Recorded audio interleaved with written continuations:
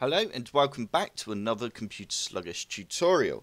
Today we're going to be taking a look at a great alternative to BlueStacks. This is another amazing Android emulator called Memu. I take it that's what it's called anyway.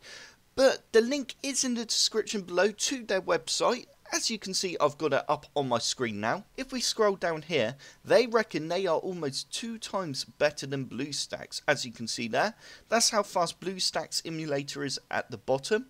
And then obviously their programs at the top. There's quite a difference there, which is obviously fantastic. Let's just scroll down a little bit more. It's fully compatible with obviously all the Windows, Windows 10, Windows 7 and Windows 8 and all the graphics cards there as we can see. If we scroll down a little bit more, it's just pictures. Right, we're going to go ahead now and press download. And we're going to go save file. Once it is finished downloading, we're now going to run this setup file.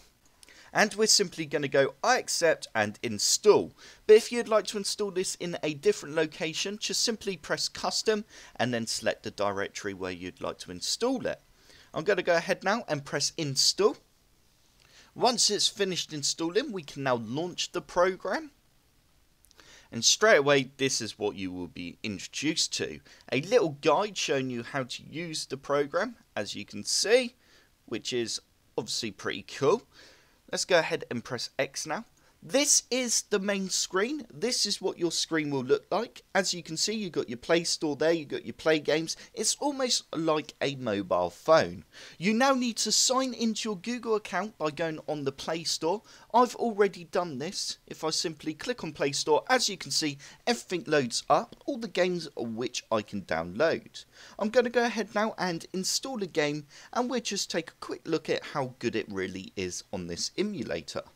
Right, I've just launched up a game and as you can see it's running absolutely fine. I don't know the controls so I'm just going to simply see what happens. I need to, okay, I need to click the mouse button as we can see there and the guy is attacking. It is running really smooth at the moment which is great. It means that the game is working superb. As you can see there, I did just get owned unfortunately but Oh well, with a bit of practice, I'll be better.